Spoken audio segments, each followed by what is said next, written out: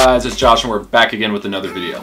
Today is part 7 in my series where I help you get into your dream school. The topic of the day is something that's been highly requested, teacher recommendation letters. Which teacher should you ask? How should you ask them? And a couple other tips. Let's get into it. Almost all colleges nowadays require recommendation letters as part of their application. Most require two to three from a teacher and then one from your counselor. The hard part is deciding which teachers to ask. First of all, I would recommend choosing a teacher that you have a good relationship with. Someone that knows you well and can say a lot of good things about you in their letter. Do not choose a teacher who's constantly reminding you to turn in your homework or yelling at you because you're sleeping in the back of the class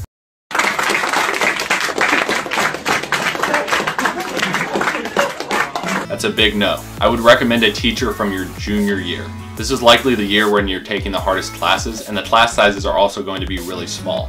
So when you come back early in your senior year, your teacher's going to remember you very well. Not that you can't choose a teacher from sophomore year, but you need to make sure they actually remember who you are. Another important tip is providing variety in your recommendations. Do not choose your biology and your chemistry teacher, okay? You need to spread them out between subject areas. At least for me personally, I chose my physics teacher and my English teacher. Both of them were from junior year. Colleges want perspectives from all your subject areas. And then obviously if you're trying to do a major like engineering, make sure you choose a math or a physics teacher.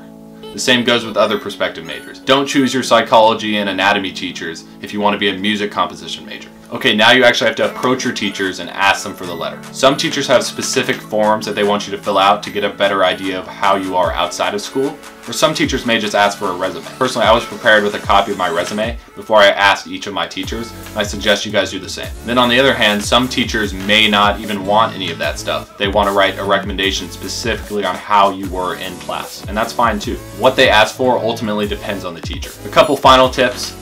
Ask for the recommendation letter as early in the year as possible. For me, that was the first couple weeks of September. Keep in mind, your teacher isn't only writing a recommendation letter for you, but probably close to 50 other students. Some teachers even have limits on how many recommendation letters they'll write in a year, so make sure you get there early to ensure that you have a spot. Also, as a final piece of advice, when it comes to the end of the year, you've been accepted to college and you're waiting on graduation, don't forget about the teachers that wrote your letters. Make sure you go back, have a personal conversation with them, thank them, Maybe even write them a thank you note or get them a small gift. They took their personal time to write you a letter that helped you get into college and you need to thank them for that. Alright, that's all I got pertaining to teacher recommendation letters. If you have any other questions or concerns or want to tell me what you thought of the video, comment down below. If you enjoyed this and want to support more content from me in the future, drop a like and hit that big red subscribe button. As always, I'll be back again tomorrow at 3 p.m. with another video. See you soon.